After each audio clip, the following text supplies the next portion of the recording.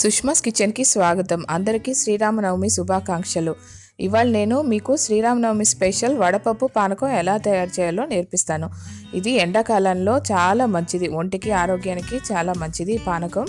మీరు కూడా తయారు చేసుకొని చూడండి. మీకు గనక నా వీడియోస్ నచ్చినట్లయితే అందరితో షేర్ చేసి సబ్స్క్రైబ్ చేసి బెల్ ఐకాన్ ప్రెస్ చేయడం మర్చిపోకండి.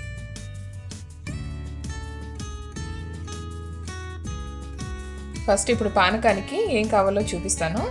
నేను ఇక్కడ ఒక అరకప్పు బెల్లం తీసుకున్నాను. ఇప్పుడు నేను కొంచెమే తయారు చేస్తున్నాను కాబట్టి అరకప్పు తీసుకున్నాను. మీకు ఎంత కావాలో మీకు అంత వేసుకొని ఎక్కువ చేసుకోవచ్చు. దీంట్లో ఒక గ్లాస్ నీళ్ళు పోసి ఈ బెల్లాన్ని కరగనిద్దాం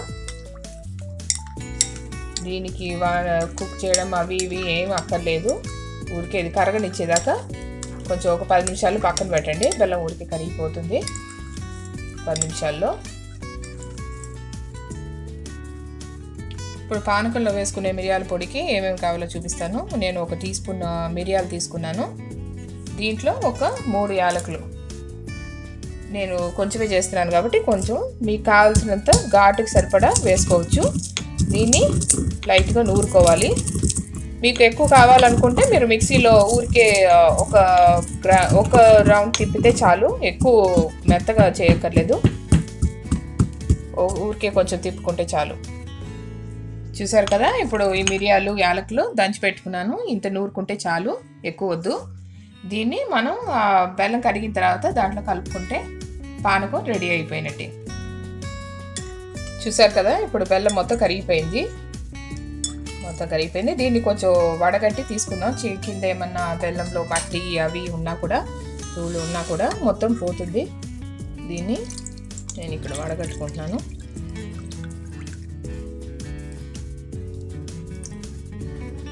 మీకు కావాల్సినంత నీళ్ళు చూసి కలుపుకోవచ్చు. టేస్ట్కి సరిపడా. ఇప్పుడు దీంట్లో నేను ఈ మిరియాలు యాలకులు దంచుకున్న పొడి వేసుకుంటున్నాను. వేసి కలుపుకోవచ్చు.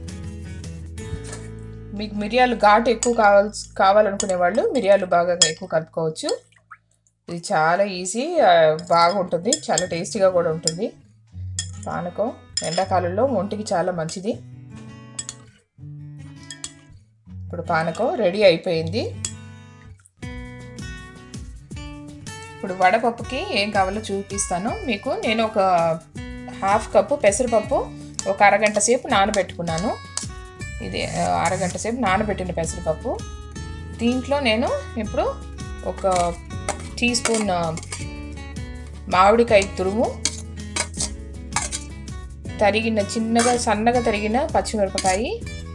మీకు ఎంత కావాలో అంత చూసి వేసుకోండి కారానికి సరిపడా. దీంట్లో ఒక కొంచెం రుచి రుచికి సరిపడినంత ఉప్పు. ఒక పావు టీ స్పూన్ చాలు. దీన్ని కలుపుకుంటే వడపప్పు తయారైపోయినట్టే. మీరు దీంట్లో కావాలంటే ఇంకా కొబ్బరి తురుము వేసుకోవచ్చు కొన్ని చోట్ల కొబ్బరి తురుము వేస్తారు క్యారెట్ తురుము వేసుకోవచ్చు బాగుంటుంది రుచికి. తాలింపు వేసుకోవచ్చు కావాలనుకుంటే లేకపోతే ఇలానే కూడా తినచ్చు. వడపప్పు పానకం శ్రీరామనవమికి చాలా ఖచ్చితంగా చేసుకుంటారు అందరూ. మీరు చేసుకొని ట్రై చేసి చూడండి. ఇంట్లో చాలా బాగుంటుంది.